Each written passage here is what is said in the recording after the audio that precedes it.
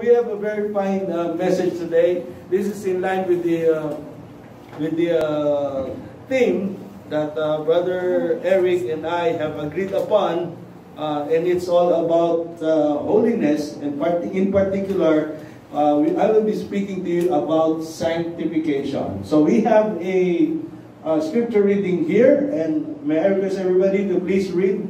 I mean, stand first, and then Eric will lead us in the you first, balik. Okay. Let us read scripture reading John 17, verse 14 to 18. I have given them thy word, and the world hath hated them, because they are not of the world, even as I am not of the world. I pray not that thou shouldest take them out of the world, but thou shouldest keep them from the evil. They are not of the world, even as I am not of the world. Sanctify them through thy word. Thy word is truth. As thou hast sent me into the world, even so I have also sent them into the world. Lord, as your as your word is being discussed, as it as it is being preached, Lord, behind this pulpit, open up our minds and hearts that the entrance of your word may become powerful and effective in our hearts, causing us, Lord, to obey you, to honor you, Lord, in whatever you are saying today through your word. Oh God, speak to our hearts today. Thank you, Father. In Jesus' name we pray. Amen, and amen. You may be seated now. What is sanctification and what is the definition of Christian sanctification? That's what we're going to talk about tonight. Uh, Brother Eric uh, has in part, actually many, in many parts has discussed many things about holiness and it's I'm very, very sure that sanctification is God's will for us. Okay?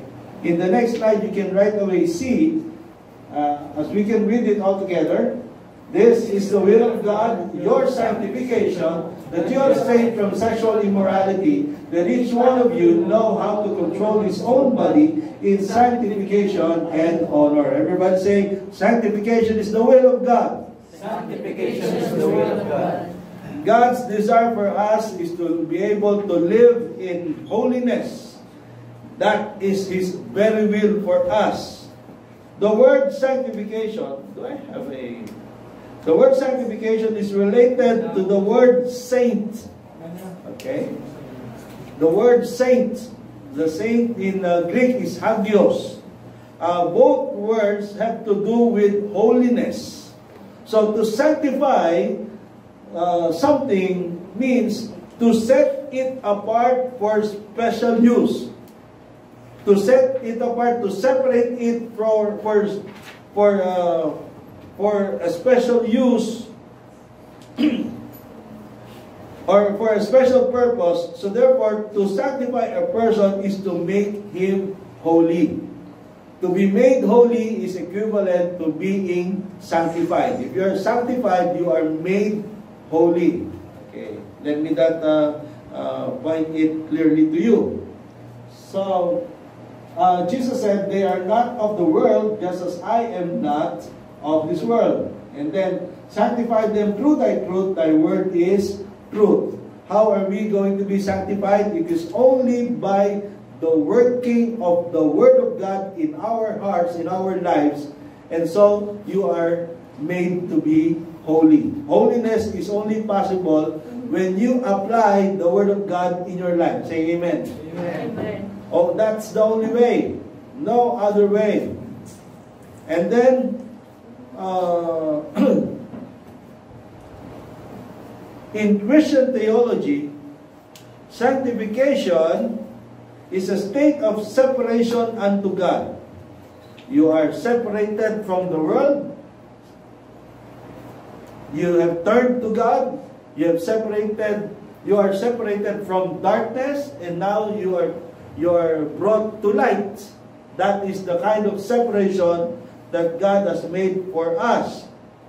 All believers enter into this state when they are born again. So you become sanctified the moment of your conversion. When you got born again, that is the initial stage okay, of the sanctification that God has done into our lives. The next, uh, in the next line, you can see, see there, please satanize your hands here. And there's something wrong with this.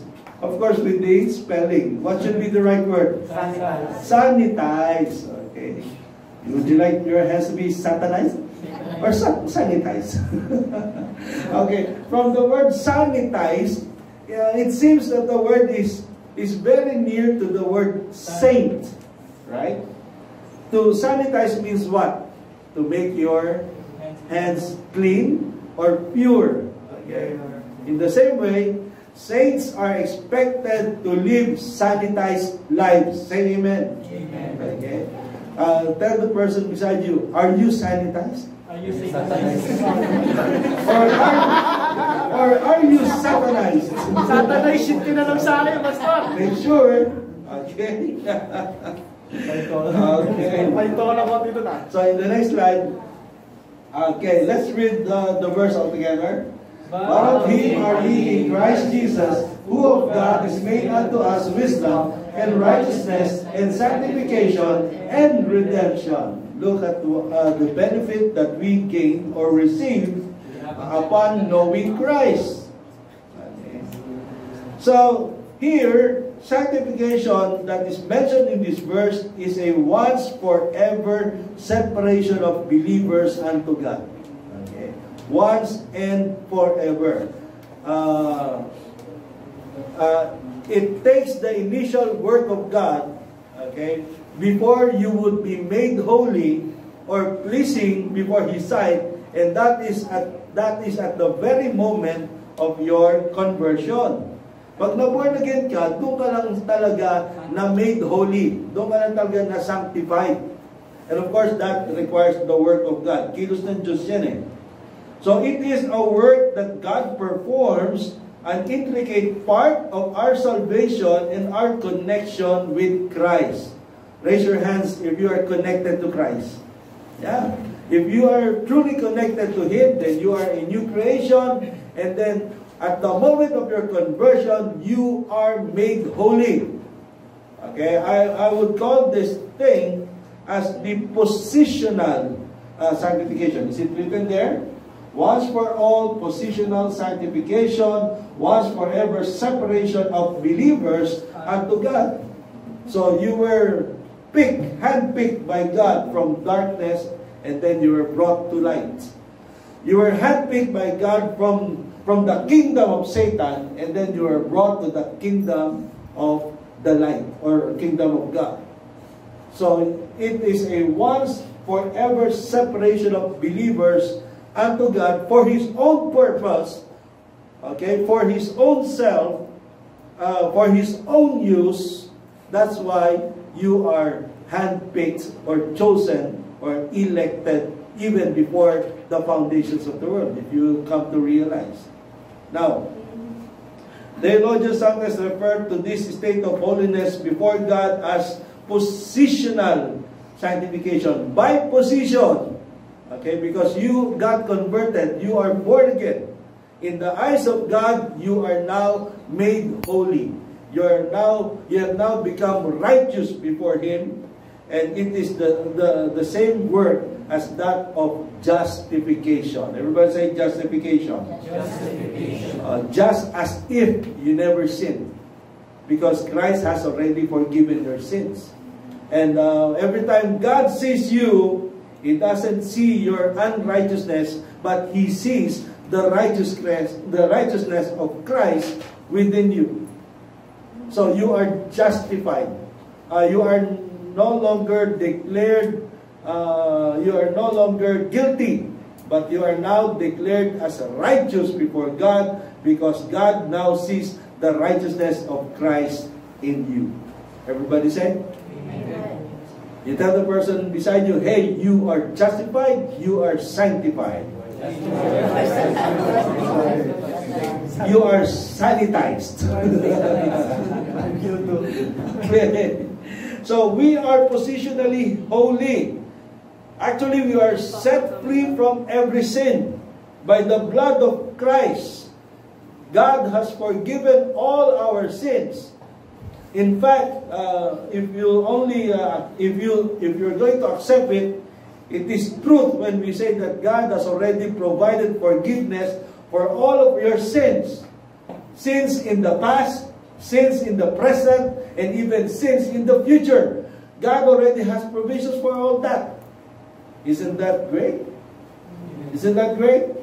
Okay. Uh, there is always a provision for forgiveness because you are a true believer of Christ. Now, uh, now let's look into the next line. The second thing is progressive or experiential sanctification. The first one is uh, positional sanctification. This time it is progressive. It is uh, a holiness by experience. Every day, we must be able to live lives that are pleasing and holy before God. Amen? Okay, and it, this is the quite difficult part. But uh, you, you, uh, uh, uh, just like what Brother Eric pointed out last week, it is not within your own capacity or ability.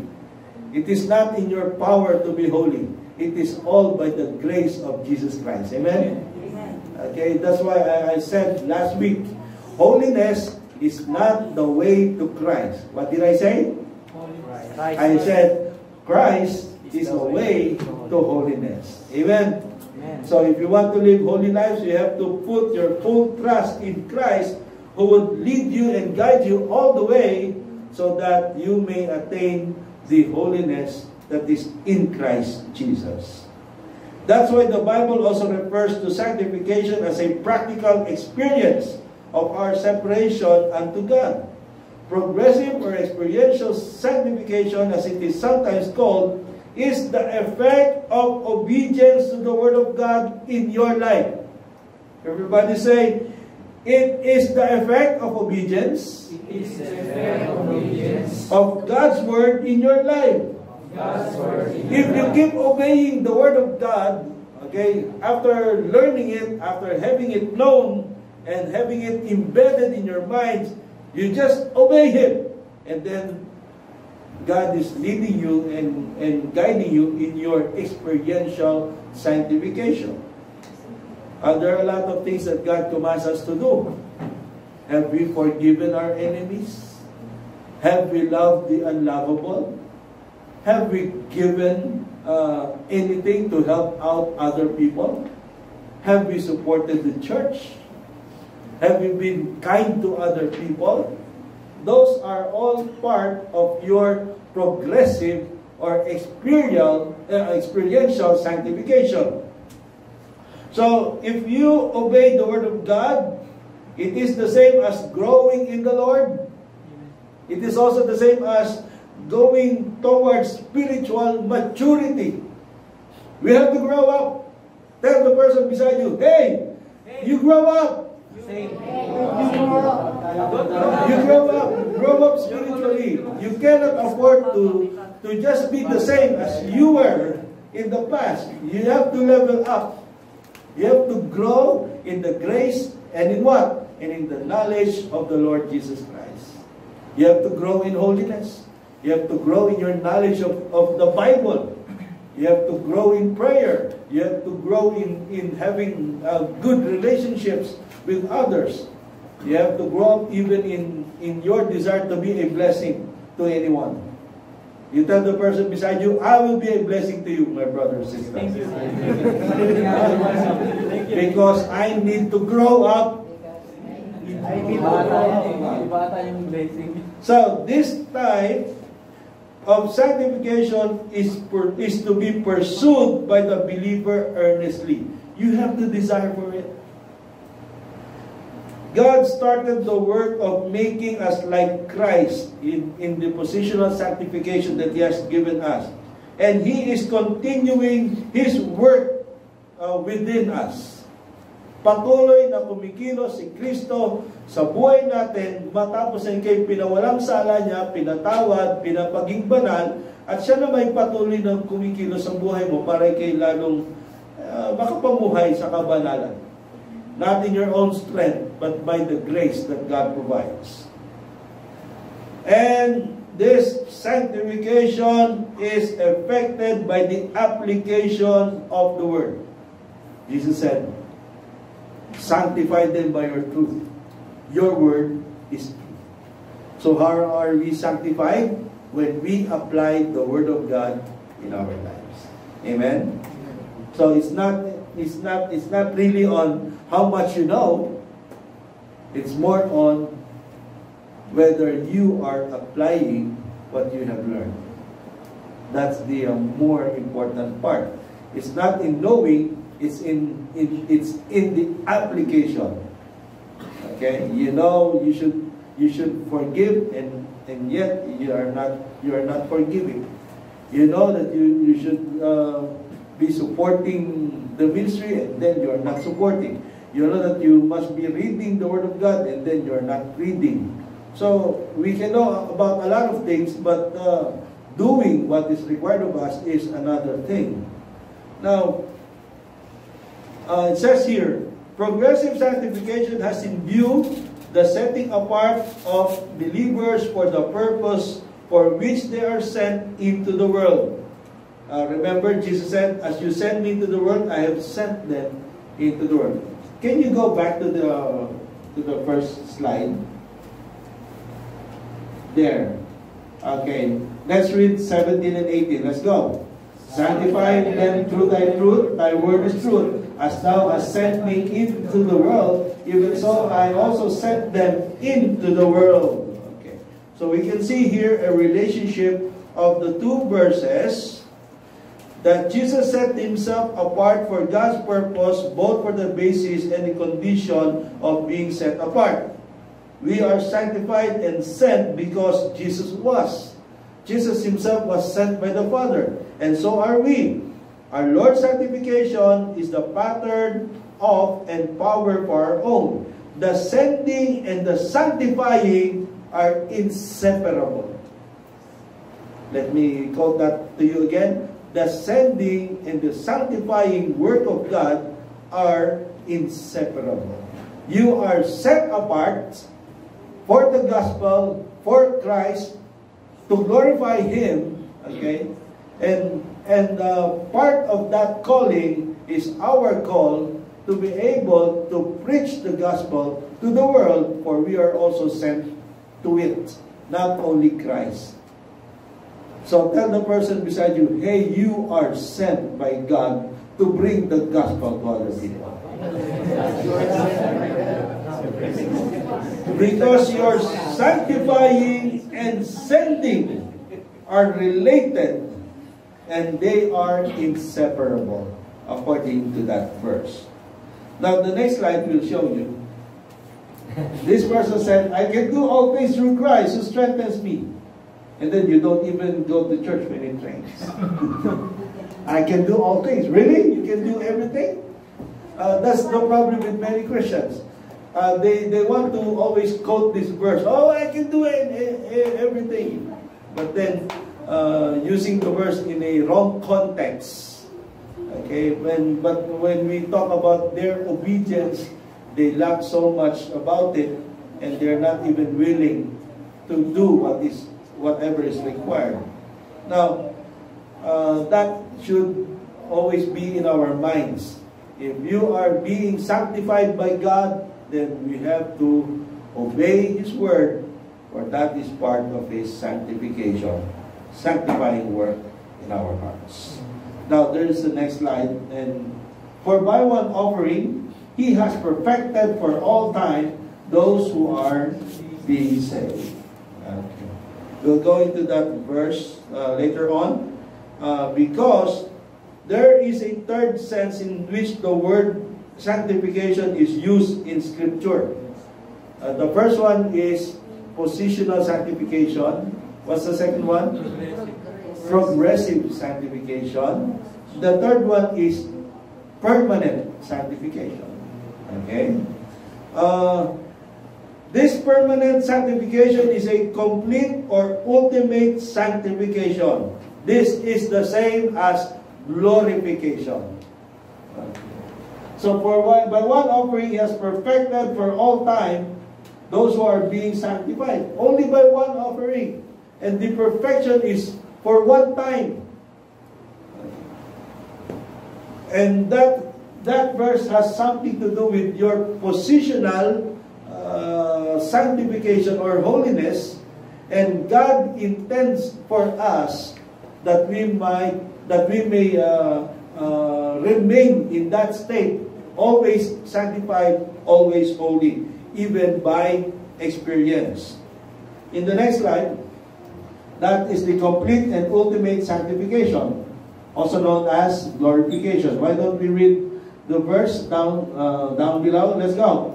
And the very God of peace sanctify you wholly. And I pray God your whole spirit and soul and body be preserved blameless unto the coming of our Lord Jesus Christ. Okay.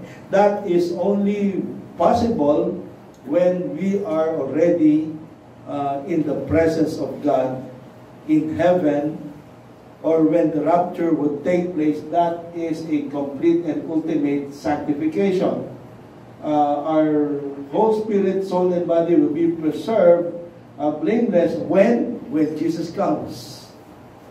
Uh, I would like to uh, point out to you, Paul speaks of Christ as the hope of glory in Colossians 1.27 and links that glorious appearing of Christ to our personal glorification. Glory, uh, soon we will be receiving our glorified bodies. Would you like to receive uh, uh, your glorified body later? Would you like to receive that? Who would like to receive it now? Who would like to receive it now? Of course, nobody would want that. Not yet. It's just it's just the same question as I told you before. Would like to go to heaven? Raise your hands. Like to go to heaven? You don't want? You don't like to go to heaven? Okay, would like to go to heaven now. Nobody. Not yet. Okay. Okay. It says here, when Christ who is your life appears, then you will also appear with him in glory. Colossians 3.14 This glorified state will be our ultimate separation from sin. Everybody say, ultimate separation.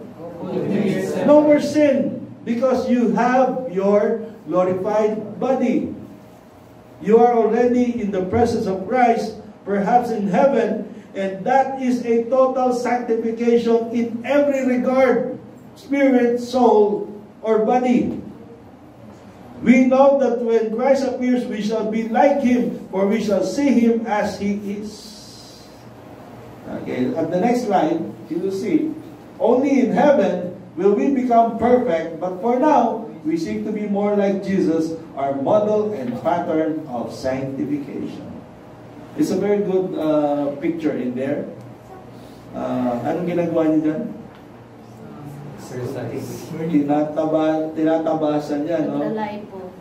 Naglalay, liposuction. It's trying to remove all the excess fats, uh, doing everything just to make him more fit or or buff. Okay. In the same way, with regards to our spirituality, uh, in a spiritual sense, we are to be also like this, using every kind of effort we exert all our means that we can employ just to be able to be more spiritual, more uh, mature in the faith, and more growing in the Lord. So we try to eradicate everything that hinders, sin that besets you, sin that hinders your progress, because all this uh, should be eliminated, in fact, eradicated, so that we might be able to truly experience an experiential or progressive sanctification. Now, the next slide, uh, to summarize, this is the summary.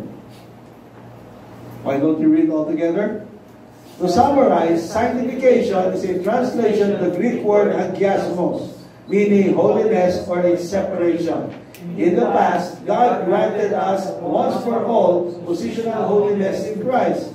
Now God guides us to maturity, a practical progressive holiness.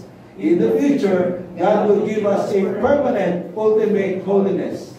These three phases of sanctification separate the believer from the penalty of sin or justification, the power of sin, maturity, and the presence of sin, which is glorification. Now, that is just the summary of the sermon tonight, and from there, we can see uh, six words that uh, seems to form an outline. If you guess it or if you got it, then it will be easier for you to be uh, reminded about the main points of what I've just preached to you. So this is talking about the three phases of sanctification, and we are to separate ourselves from what? Penalty of sin, the power of sin, and the presence of sin. Positional holiness, justification. Get it?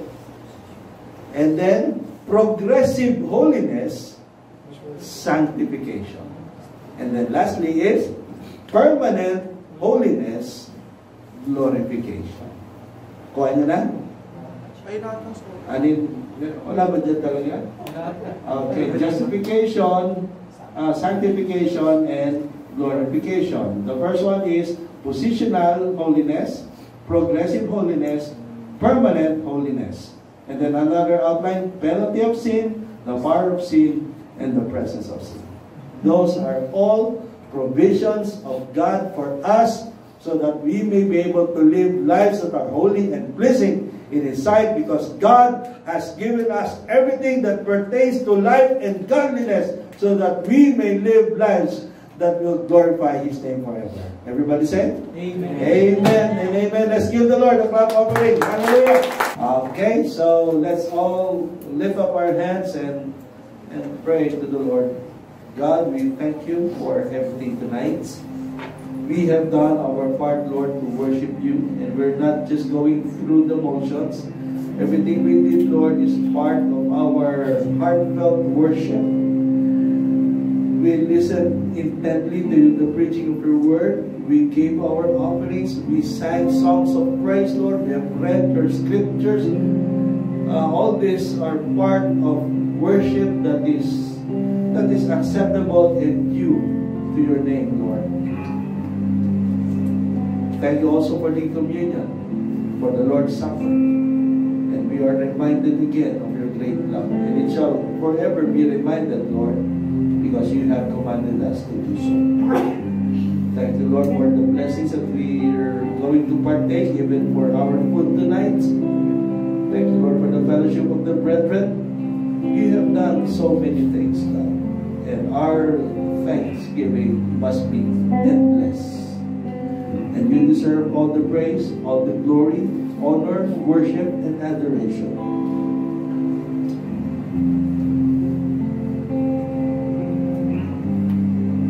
The Lord bless you and keep you. The Lord make his face to shine upon you and be gracious to you. And may the Lord lift up his countenance upon you and give you peace.